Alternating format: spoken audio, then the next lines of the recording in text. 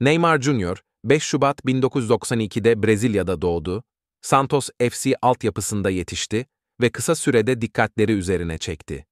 2013'te Barcelona'ya transferiyle dünya futbolunun en büyük takımlarından birine katıldı.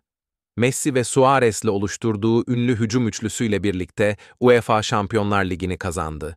2017'de Paris Saint-Germain'e transfer olduktan sonra Fransa Lig 1'de başarılar elde etti. Ayrıca Brezilya milli takımında da önemli bir rol üstlendi ve birçok uluslararası turnuvada şampiyonluklar yaşadı.